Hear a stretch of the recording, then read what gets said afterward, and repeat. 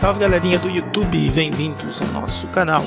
A gente vai continuar o nosso projeto, né, nosso testador de portas lógicas, só que dessa vez ele vai virar um testador de circuitos integrados lógicos. Beleza? Vamos testar para ver como a gente deixou. Colar aqui o código no nosso simulador. Eu refiz o programinha lá que copia o código. Fica mais fácil. Belezinha, ele está testando ali, está verificando a porta e se ela estiver boa, nos retorna ok, né? Isso aqui dá para fazer com um LED. Bom, vamos pesquisar aqui o 4011, que são as nossas portas names. E tem um detalhe aqui, né? Na hora de testar um CI é diferente. A gente vai ter que registrar todos os pinos, as posições das portas lógicas, todas as entradas, os números de saídas, ok? Passar isso para uma lista e dar um nome para o nosso CI. Joia, joia? Não vai ser muito fácil não, mas vai ser bacana. Beleza? Depois que a gente tiver esses dados, a gente vai fazer a adaptação para este conector aqui, conector de teste, né? O pessoal deve conhecer aí que é bem famoso na eletrônica. Belezinha? Como o Proteus não tem, eu acho que ele não tem, a gente vai desenhar o nosso próprio aqui. Vou fazer um no simulador. Só fazer um quadradinho aqui, né? Trocar as cores, tirar o fundo, vou aqui em propriedades, edição de estilo, vou aumentar aqui o tamanho do traço, trocar a cor para preta. Aqui eu posso remover o fundo para deixar só o contorno. É isso aí. Ajustar o tamanho dele, fazer o desenho aqui dos, do símbolo, né? Beleza. Só que eu já tenho esse desenho para a gente ganhar um tempinho. Eu já vou usar ele direto. Ah, vou mostrar aqui os pinos, né? A gente vai utilizar esses pinos para fazer a conexão e para poder ligar eles sem precisar por fio, é só a gente dar um nome para cada um deles, né? São as chamadas labels. Então, se eu colocar um outro pino com o mesmo número, eles vão estar conectados um com o outro, sem precisar passar fio. Isso aqui vai ser bastante útil no nosso projeto. Por exemplo, aqui, né? Vou chamar aqui de pino 1, pin 1. Eu posso colocar só o número também, colocar 2, 3, e assim por diante. Bacana? Para entender, né? Então vamos pegar o projetinho já pronto aqui. Tá aqui o desenho da nossa lente dentro do CI. Aqui a gente vai utilizar os resistores de 1K para não ligar direto, né? Que o Arduino pode enviar 1 e a porta pode voltar com 0 e acaba dando um curto. Então a gente coloca um resistorzinho. A gente observa que o número de pinos do socket é de 1 até 16 pode ser maior, o tanto que o pessoal quiser aí. Nosso projeto aqui é isso. Belezinha? E eles estão interligados com os pinos do CI. Então eu troco as portas aqui e mudo o CI que já está ligado. Beleza? Então vamos para o script. Primeira coisa que eu vou fazer é trocar o nome da nossa função. Agora ela vai ser TrueTable. Nossa tabela verdade aí primeiro parâmetro é o mesmo, é o nome da porta, né, o que ela vai fazer. Depois a gente vai ver a saída, chamar aqui de colocar aqui só S. E vamos ter as entradas. No caso ali é o A e o B. Inicialmente aqui tudo de tipo inteiro. Vamos trocar o nome aqui também na chamada, né? TrueTable, o nome da porta and e os pinos. Seria 2, 1 e 0 no Arduino, né? Trocar o nome aqui também na função e colocar aqui as entradas e saídas. Belezinha? Aqui eu vou trocar, as entradas vai ser o A e o B e a saída ali o S. Joia, trocar aqui também. Na hora de enviar um sinal vai ser o A e o B na hora de receber digital read vai ser o S. É isso aí. Vamos testar para ver. Testando. Opa, deu errado. Assim, eu troquei a a end e deixei a NAND. Tem que mudar o nome aqui, né? A gente está testando a end. Ah, também verificando que os pinos no socket eles são 1, 2 e 3 e não 0. Não tem 0, né? Então eu já vou arrumar aqui direto, colocar 3, 2, 1, que é a saída e as duas entradas. E aqui na hora de chamar, eu simplesmente removo esse 1. Beleza? Fica mais fácil de identificar assim. S menos igual a 1, A menos igual a 1 e B menos igual a 1, né? 3, 2, 1 vai ficar 2, 1 e 0. Joinha. Vou trocar aqui para Nente, né? Já esquecendo. E vamos testar. Testando. Joia, joia. Funcionou aí. Fez a leitura da nossa Nente. Na verdade, agora é um CI, né? Só testamos uma parte dele, são quatro. Mas vamos fazendo aos poucos. Bom, agora aqui tem um outro problema. Ele começa do 1 até o 7, só que a gente sabe que vai voltar 1, né? Só que quando chega no 8, o 8 não está sendo usado, ele é um terra. Então eu vou ter que pular mais um. Ele vai do 7 para o 9. Ok? Que o mouse não quer aparecer. Mas tudo bem. E ele vai ignorar o 16 também, né? Então, na verdade, são 14 pinos. Então, vamos corrigir isso também, de uma vez só. Aqui vai ser bem fácil, né? É só saber falar com o computador, com o Arduino no caso. Se caso o S for menor que 8, então a gente tira 1. Então coloca aqui S é menor que 8, interrogação, tira 1. Caso não, o S tira 2. Belezinha? Simples assim. A gente copia para todos os pinos, é todos a mesma situação, né? o mesmo caso. Então, ao invés de S aqui vai ser o A, e aqui o B, B e o A. Mesma coisa para o resultado, né? Joia, joia. Simples assim. Assim, só que o 6, dependendo do tipo de lógica, ele vai ter mais de duas saídas. Então já vou colocar todas aqui, né? O máximo que eu achei ali. B, o C, o D e o E. Cinco entradas aí, né? Beleza. Cinco entradas, uma saída. Bom, eu tenho a opção de já inicializar as minhas entradas. Eu coloco elas com zero e eu não sou obrigado a chamar elas. Posso colocar só duas, por exemplo desde que eu as inicie. Isso aqui é bem útil. Então, por exemplo, aqui eu já estou chamando a função e estou enviando três parâmetros. Eu não preciso enviar todos os parâmetros, porque eles já foram iniciados. Só envio três. Beleza? Dessa forma, eu posso testar que vai funcionar do mesmo jeito. Eu tenho que colocar esses parâmetros aqui também né, na função, o C, o D e o E. E aqui eu também vou estar colocando os casos para todos os pinos. Eu vou me adiantar aqui. O C, o D e o E.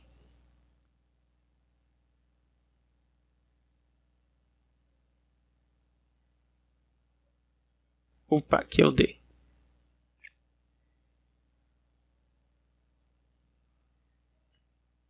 Belezinha? Vamos fazer um testezinho para ver se não atrapalhou em nada. Joia, joia. Funcionando aí. Então vamos continuar. Bom, eu vou passar a saída aqui para cima, né? Porque o A vai ser obrigatório, que tem no mínimo uma saída e uma entrada, né? No caso da NOT. As demais são opcionais por exemplo, S é igual a zero, né? ele vai tirar 1, então vai ficar igual a menos 1. Então eu vou colocar a condição seguinte aqui. Se caso o pino for maior que menos 1, quer dizer que eu estou usando ele. Então eu vou setar esse pino como saída. Caso não, eu não estou nem usando, então eu vou ignorar ele. Belezinha? Vou colocar todos os pinos aqui fazer o mesmo para todos, é o mesmo caso. E somente o A já vai estar tá direto, né? Beleza. Agora eu tenho vários pinos, eu tenho que aumentar aqui, são mais três no meu vetor. Todos binários, né? Todos 1 um ou 0. Então, na end, se todos forem 1, um, ela vai retornar 1. Um. Na NAND, se todos forem 1 um, invertido, vai retornar 1. Um. E já na OR é diferente. a hora eu tenho que verificar se eu estou usando todos os pinos, né? Que ela vai combinar aí. Então eu vou colocar se o E for igual a menos 1. Ou seja, se o E for igual a menos 1, quer dizer que é verdadeiro, quer dizer que é 1. Aí eu ignoro esse pino. Se caso ele for maior que menos 1, ele é zero. Aí ele, o pino está incluído. A gente vai fazer a contagem. Beleza? Eu vou fazer isso por todos os demais pinos que a gente colocou. Só vou ignorar os dois últimos. Beleza? São as portas lógicas simples. Aqui no Shore, só preciso verificar os dois últimos pinos, né? Se eles são diferentes. 0, 1, 1 e 0. E na XNOR, só preciso verificar os dois últimos também, se eles são iguais. Ao contrário, né? 0, 0, 1 e 1. Belezinha? Por último aqui, a gente vai verificar a NOR. A NOR é o mesmo caso da OR. Vamos verificar se o pino está ativado ou não, tanto o E quanto o D quanto o C. Belezinha? Joia. Agora a gente vai colocar a NOT também, né? Depois a gente testa ela. Se caso o, a minha porta lógica for NOT, opa, NOT tem que ser de maiúsculo, só o nome, né? Então a gente vai passar a tabela verdade, todos os pinos menos o último, que ela só tem um pino de entrada. Então, se ele for zero, a gente vai inverter ele para 1. Um. Belezinha? É uma inversora. Joia, joia. Simples assim. Bom, agora a gente tem que fazer um monte de alterações aqui no nosso código, né? No laço for. Nós adicionamos mais três pinos. Vamos ter que adicionar mais três laços for também. Todos contando até dois, né? Tudo binário aí. Então, beleza. Deixa eu alinhar aqui. Agora, ele vai ser o último, que é o N. E o B vai ser o penúltimo, que é o M. E a gente vai seguir a ordem aí, né? Deixa eu tirar esse delay aqui, porque não precisa mais ficar olhando, né? Aqui vai ser o seguinte, vou verificar se esse pino está sendo usado, para mim poder passar ele para verdadeiro. Caso não, a gente ignora, né? E a gente vai ter que sair do laço for também. Eu vou sair passando o M para 1. Então ele vai contar somente o N. Ok? Vamos fazer o mesmo para todos os outros casos essas portas extras. Eu passo o K para 1, o J para 1, o I para 1. Beleza? Ele vai contando de acordo com o número de pinos que a gente está usando. Se não estiver usando, ele sai. O resto é igual. Vai retornar se for igual, retornar se for diferente. Aqui a gente vai estar tá adicionando os pinos também, né? É o K, o M e o N. Quis pular o L ali porque o L parece o número 1. Eu acabo confundindo. Mesma coisa para o de baixo. N. Tem que colocar as chavinhas aqui, né? Já estou acelerando aqui. Três chavinhas. E aqui eu tenho que adicionar as posições do vetor. É tudo 2, né? Todo mundo em zero. Belezinha? E é isso. Vamos testar para ver se está funcionando ainda. Joia, joia. Está funcionando. Beleza, agora posso trocar a pinagem do meu CI. Bacana. Vamos criar uma função para a gente exibir um texto.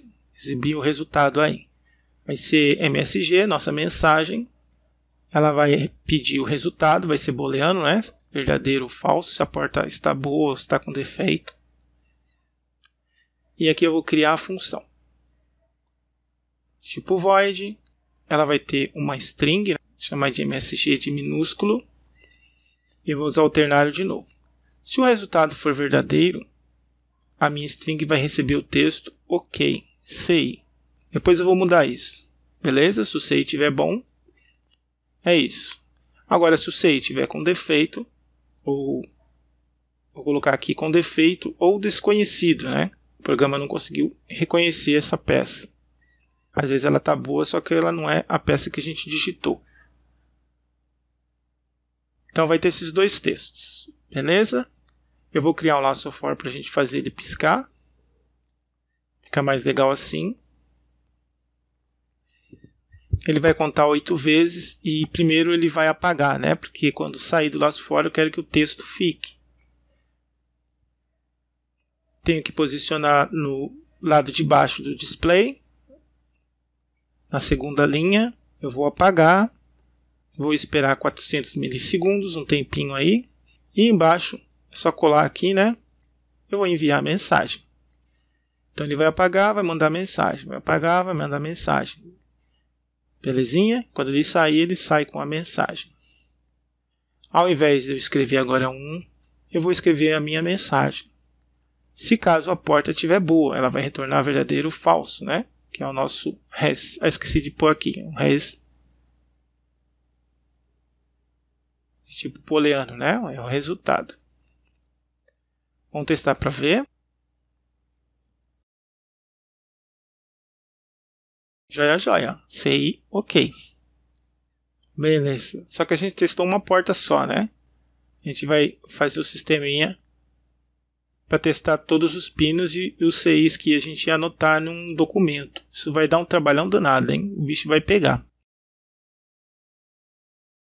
Então, beleza. Vamos testar o CI como se ele tivesse com defeito. Eu vou arrancar um dos pininhos aqui, como a gente fez.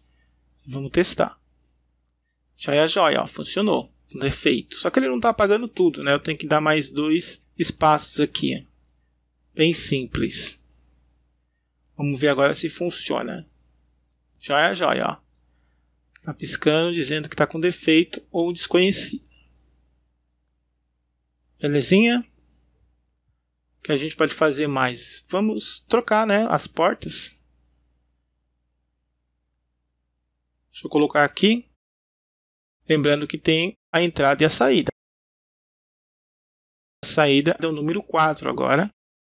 E a entrada é o 5 e o 6 do CI de baixo. Vamos testar a porta de baixo, né? O CI são as 4. Joinha. Agora é o CI de baixo. Dá para ver ali que ele está azul né, na saída. Ele é uma NAND. 1 em 1 sai 0. Vamos continuar, vamos testar outra porta. Agora vai ser o 13 ali, que é a saída.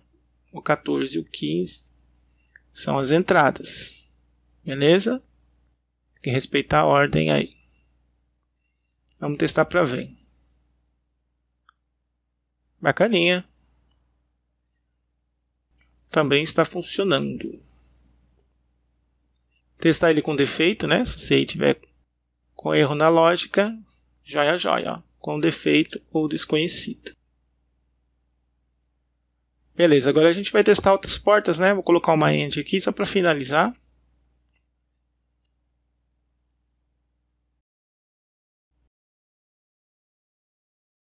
E vamos fazer um teste para ver. Ó, tá dando defeito desconhecido, porque a gente não mudou aqui de NAND para END, né? Agora sim vai ser a END. Vamos testar para ver. Joinha funcionando aí. Ok. Bom, espero que o pessoal tenha gostado, tenha entendido. Até a próxima aí, galera. Vamos continuar o nosso projeto. Valeu!